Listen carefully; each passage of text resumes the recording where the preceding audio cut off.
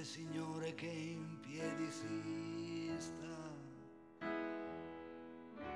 Belle signore del ponte lance a vedere la Francia che se ne va.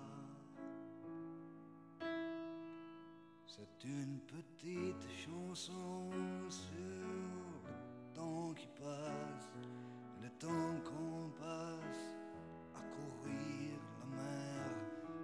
Capitaine est un brave homme d'ici. Il a de bons marins qui viennent d'Italie. E noi marinai, noi marinai, noi non siamo mai stanchi. Erik, kun je iets over de techniek vertellen waar je nou mee bezig bent? Ik eh, ben nu bezig, ik werk met eh, pigment en acrylverf. Een witte acrylverf heb ik erop gesmeerd op de ondergrond. En daar heb ik pigment op gestrooid en dat maak ik nat. Waardoor eh, het pigment oplost in het water en in de acrylverf. En eh, door het eh, een beetje schuin te houden, eh, mengt het en loopt het over het hele vlak.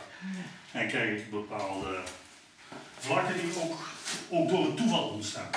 Ja, ja, dus het is echt het toeval wat het dus moet gaan, eh, Ja, gaan een beeld vormen voor jou. het is niet alleen een toeval natuurlijk, ik ben er zelf Nee, ook nee. nog bij, maar eh, het, eh, Maar het speelt het toeval een krijgt, krijgt wel een grote kans. Hè, zoals dat in mijn dagelijks leven Hoe zou je het zelf die willen, om- willen omschrijven, jouw, eh, jouw werk? Ik Noem je schrijf het wel eens als, als lyrisch abstract. Oké dat vloeit heel mooi in elkaar over zo, ja. Ik gebruik mijn eigen leven als, eh, als thema eigenlijk. En eh, wat er in mijn leven gebeurt, mijn, in mijn privéleven, maar, maar ook wat ik op school tegenkom, bij, mijn, eh, bij het lesgeven, dat, dat probeer ik in een, in een groter kader te plaatsen. En daar, terwijl ik hiermee bezig ben, denk ik erover na en probeer ik op die manier om maar verder te komen als mens en, en, en als, als functionerende persoon op school natuurlijk ook. Ja. Ik heb laatst een boek gelezen van, het heet De Barbaren. En dat gaat over de, de moderne samenleving, over de nieuwe samenleving, waarin eh, we zullen moeten wennen aan eh, mensen die ehm, Google gebruiken. Hè, hij ziet Google als de grote barbaar. Die Google gebruiken en, en alleen nog maar surfen, eh, aan de oppervlakte blijven. Terwijl ik juist mijn leerlingen probeer zover te brengen dat ze gaan searchen. Ja, ja. Ja, de search tegenover de surfer. Ik probeer ze de diepte in, eh, in te brengen. Ja, terwijl ze het liefst alleen maar over de, eh, aan de oppervlakte blijven. En dan, de, dat combineer ik dan met wat, eh, wat bijvoorbeeld eh, Boeddha zegt over, ehm, over het leven. Hè? Dus eh, die, die laat een bloem zien die met zijn eh, wortels in de stront gestaan heeft. Hè, En je moet met je wortels, met je poten de diepte in, de modder in, de, hè, om een bloem te kunnen laten ontstaan. Ja, ja. En dat idee zit erachter. Ja, dat is een hele mooie filosofie. Ja, Nou ja, ik zag op jouw website zag ik die boom in het blauw. Maar die, ja, die staat natuurlijk ergens.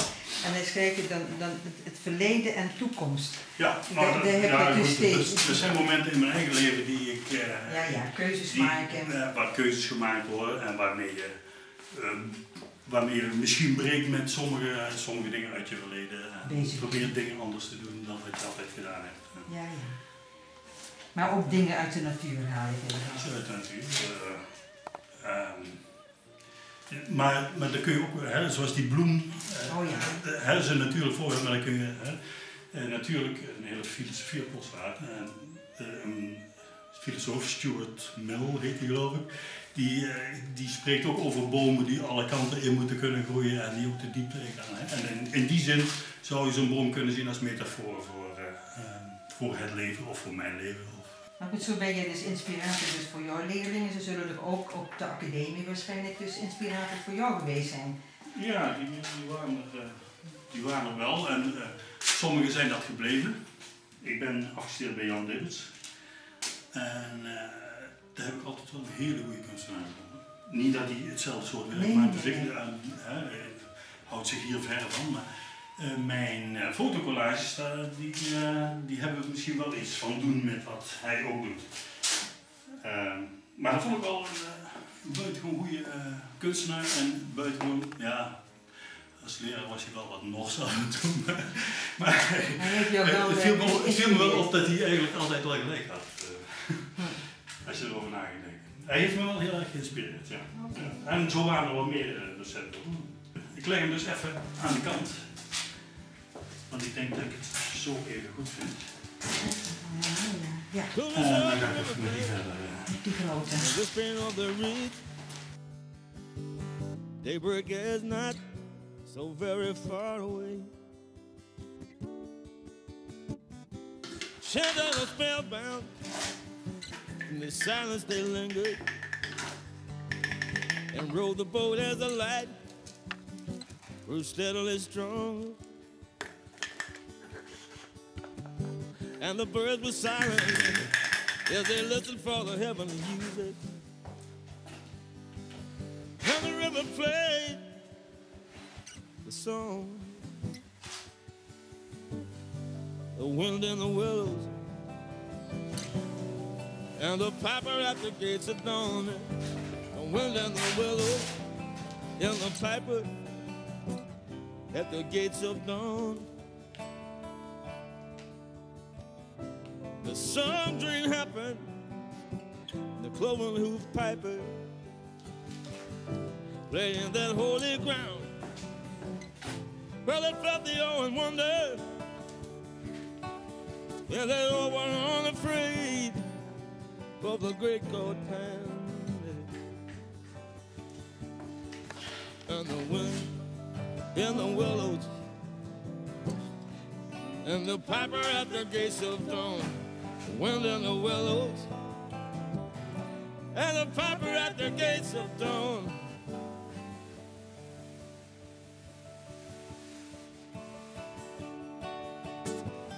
When the vision vanished, held a choir of birds singing. In the heavenly silence, between the trance and the reeds, then they stood upon the lawn. Ik vind verbeelding, verbeelding heel erg belangrijk. Ja, ja. Ik wilde Dat mensen dwingen om te kijken, zeg Ik maar. wil de mensen dwingen om te kijken, maar ik wil ze ook dwingen om op hun eigen manier te kijken. Ja, ja. Eh, Ik vind als je, als je naar kunst kijkt, wat voor vorm van kunst dan ook, of het een toneelstuk is, of een dans, of een schilderij, als je naar kunst kijkt, dan kijk je eigenlijk naar jezelf. Oh, Eh, ja, ja. en eh, daarom eh, schilder ik ook bijna of helemaal abstract, omdat mensen dan gedwongen worden. als het ware om hun eigen beelden ervan te maken.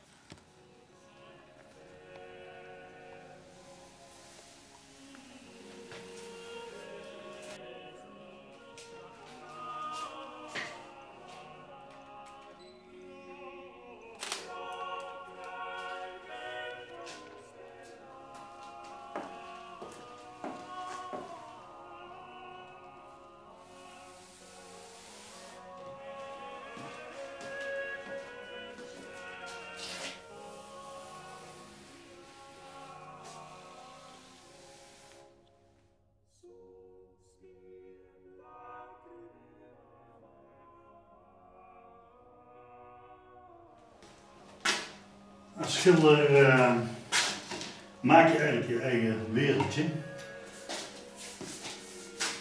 En dat doe ik dus met schilderijen, maar dat doe ik ook met foto's.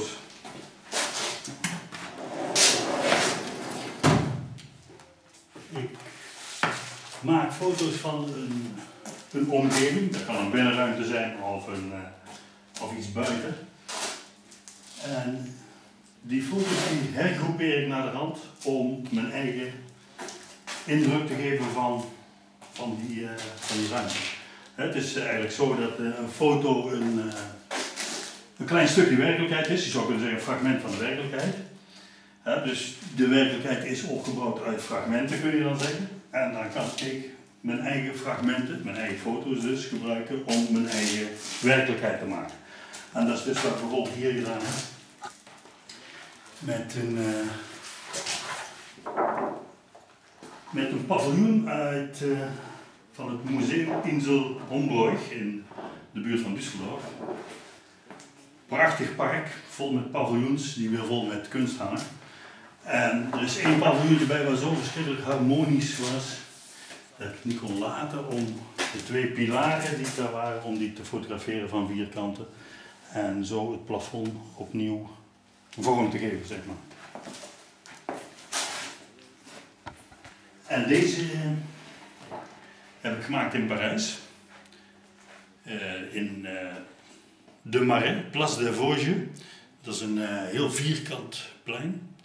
Dus heb ik van, vier, van vierkanten af foto's gemaakt.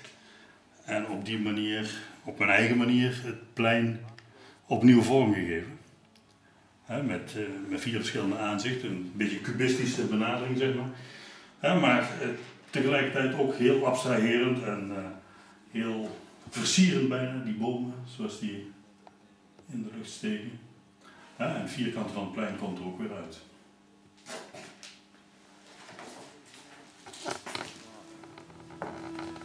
I remember thinking as I heard my own record in a bar. They really hated you. Now all that's changed. But I have some resentments that can never be unmade. You hit me where it hurt, I didn't laugh. Your diaries are not a worthy epitaph. Well, now, Andy, I guess we've gotta go. I wish some way, somehow, you like this little show. I know this is late in coming, but it's the only way I know. Hello, it's me. Good night, Andy.